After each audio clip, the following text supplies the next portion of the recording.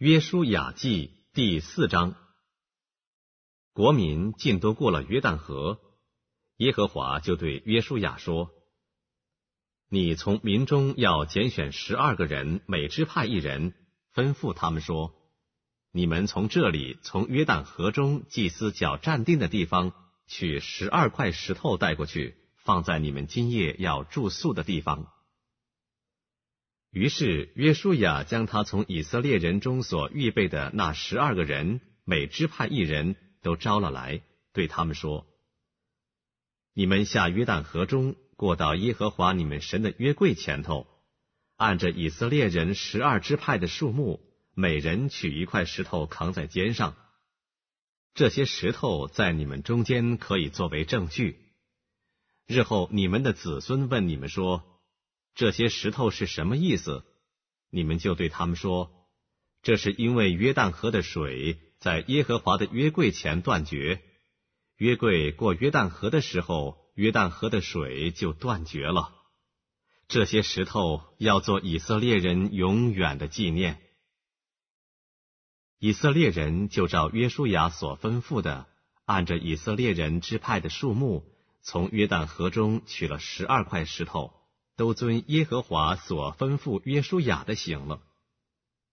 他们把石头带过去，到他们所住宿的地方，就放在那里。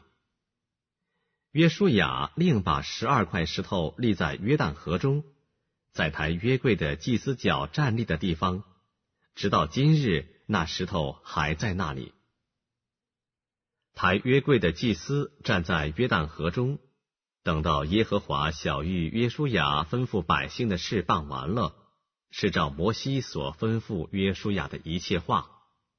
于是百姓急速过去了。众百姓尽都过了河，耶和华的约柜和祭司就在百姓面前过去。流变人、加德人、马拿西半支派的人都照摩西所吩咐他们的，带着兵器在以色列人前头过去。约有四万人都准备打仗，在耶和华面前过去，到耶利哥的平原等候上阵。当那日，耶和华使约书亚在以色列众人眼前尊大，在他平生的日子，百姓敬畏他，像从前敬畏摩西一样。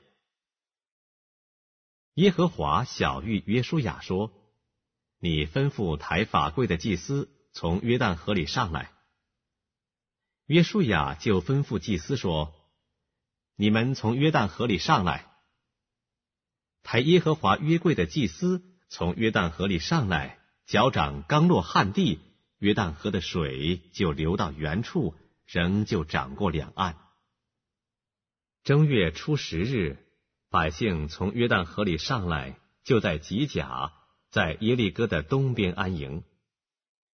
他们从约旦河中取来的那十二块石头，约书亚就立在吉甲，对以色列人说：“日后你们的子孙问他们的父亲说，这些石头是什么意思？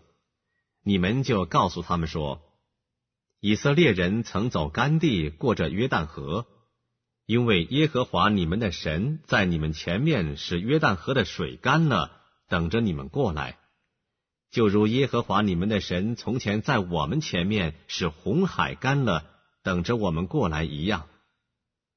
要是地上万民都知道耶和华的手大有能力，也要使你们永远敬畏耶和华你们的神。